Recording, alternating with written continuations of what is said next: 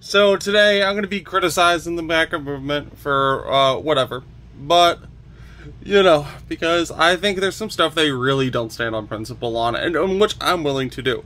So that being said, uh, let's get into the intro. Woo! In the flame, you just gotta go. At some point, this candle, I gotta blow. I guarantee you talk shit and to see who wins this race. So, for those who don't know, the reason why I left MAGA is because well, precisely political weaponization. Uh, and I'm, I'm voting independent, voting People's Party. But, uh, that being said, I broke the, the news on how Republicans are also weaponizing the justice system and the uh, political process in general against Joe Biden, the leading Democrat candidate. Now, in the same way, I'm not a fan of that happening to Trump, not a fan of happening that happening to Biden. And that was within the FY24 package, which basically says contains critical oversight funding for the House of Representatives so it can hold the Biden administration accountable. Now, do those sound like words that are implying guilt or implying reasonable suspicion for an investigation?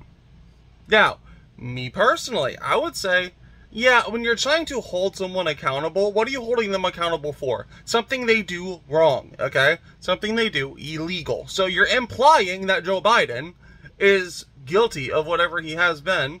Which, by the way, isn't it that anti-American to be guilty before innocent? You know, I'm just saying, I'm an American. I believe in innocent before guilty. I think Biden is innocent until he's proven guilty by a court of his peers. Now, that's why I'm not voting Republican. Because, and I don't understand this, again, I'm almost positive if MAGA people in general saw that video, a lot of them would probably still be like, well, they weaponized it against Trump, so... Okay, so basically the same excuse of a six-year-old being like, he hit me first! No, you hit me first! That's basically the logic here. Like, and this is why I don't, I hate how it's become such a sport. Red versus blue. Oh, which one's gonna win? When the focus should be policy. Look into the policy. Be informed about who you vote for. Okay?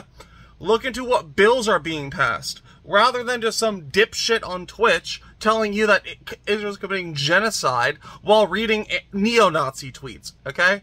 And I'm also not a fan of the people who go like, well, well, well, well here's data, and, and uh, the, the Biden's weaponizing Trump, while simultaneously not talking about the vice versa regarding Republicans in general. So, hey, look, you know, to each their own, I guess. Uh, as much as they they complain about political weaponization against Trump, are you gonna stand on that when it comes to Biden?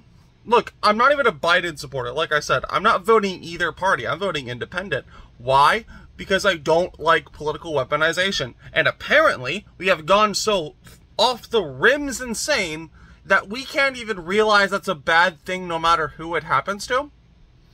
Like, just saying, you know, I don't know, maybe that's reasonable. Hey, I genuinely hate weaponization of the political system, so I'm not going to vote for the two major parties, which are weaponizing the political system against each other. I'm just, just a thought, you know, uh, just a thought here. But that being said, I, I genuinely think Trump would have lost that debate had Joe Biden been not so incompetently retarded, okay? And before you go ahead and say, oh, think retarded, I'm autistic, motherfucker eat my dick. That being said, I'm pretty much out of here. Yeah, that's one of my main critiques of MAGA at this point is, are you willing to hold on to your beliefs it happens to your guy? I certainly was. But, anyways, peace.